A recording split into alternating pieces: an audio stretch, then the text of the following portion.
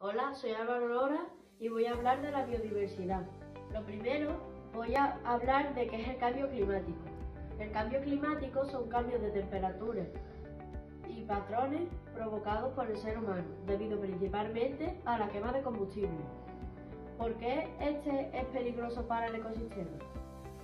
Pues es peligroso por la pérdida de biodiversidad y el cambio de condiciones terrestres, por ejemplo, el aumento del nivel del mar, clima extremo, etc. ¿De qué manera lo podemos alterar? Pues acelerando la pérdida de especies de, flora y fármacos, deteriorando los ecosistemas y la pérdida de, de, de bienes y servicios de estos. Ejemplos de cambio, voy a dar unos ejemplos de cambios climáticos. Por ejemplo, el aumento de temperatura, aumento del nivel del mar, retroceso de los glaciares, etc. ¿Qué debemos hacer para evitarlo? Pues podemos ahorrar energía en casa, utilizar coches eléctricos, transporte público, bicicletas, etc. Y reciclar y reutilizar las cosas que no vayamos a utilizar. Muchas gracias.